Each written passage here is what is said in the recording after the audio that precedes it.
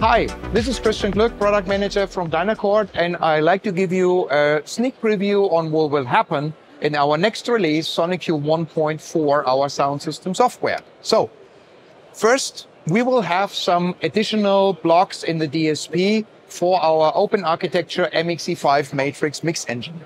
So, I've already have a configuration here, and what you see, the first new entries we will have under the dynamics, there is an block for automatic gain control.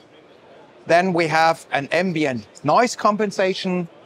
And last but not least, in the mixing section, we are having an auto mixer. The auto mixer, when you bring it in, comes by default as two, but as all the mixing elements in SONICUE, you can adjust and put it to the size of channels that you need. Talking about the auto mixer, as you can see, we have a mixed output. It's a, it's a, it's a gain sharing auto mixer. So we have a mixed output and every channel has an individual direct out. So whatever you need to do in the DSP configuration, fully flexible to do it.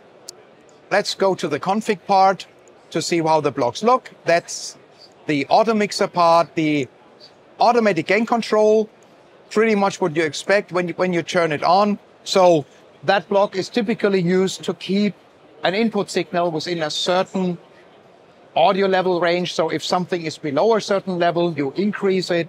If it's above a certain level, you compress it basically. So it's a combination of a noise gate, uh, expander and compressor in one piece.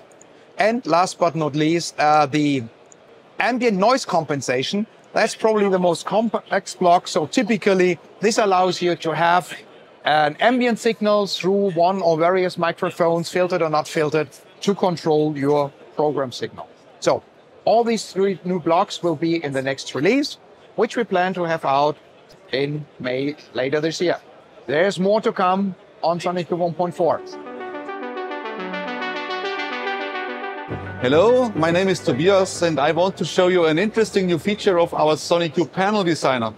Panel Designer is used to create custom user interfaces, like here you see a hotel lobby, for example, or um, a restaurant with custom photographs in the background and, and control panels.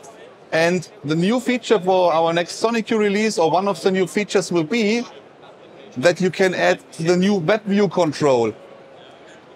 The web view control basically allows you to display uh, a website so by default, it shows our Dynacord website, but you could also display a web interface of whatever third-party software or hardware. Imagine you have a small Dante break-in, break-out box, which has DSP built in and the web interface, then you can integrate it by displaying the web interface here.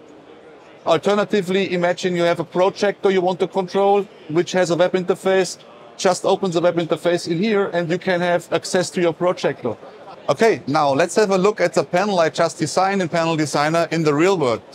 So this is the restaurant screen. I now switch to the audio player page I just created and I connect to the web interface of a third-party audio player software.